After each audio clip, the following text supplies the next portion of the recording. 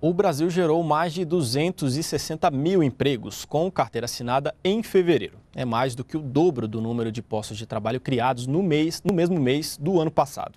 Os números são do CAGED, o Cadastro Geral de Empregados e Desempregados.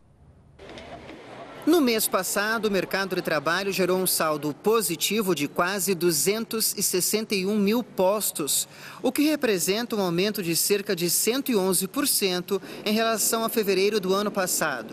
Também foi a maior geração de empregos para meses de fevereiro desde 2011.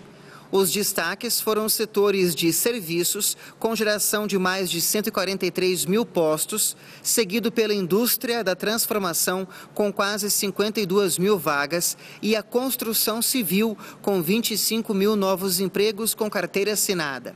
Em termos de regiões, os recordes ocorreram no sul e no nordeste do país. Já quando considerados os estados, São Paulo, Santa Catarina e Rio Grande do Sul lideraram o ranking. Somados janeiro e fevereiro, o acumulado do ano registra saldo positivo de 291 mil novas vagas no mercado de trabalho brasileiro.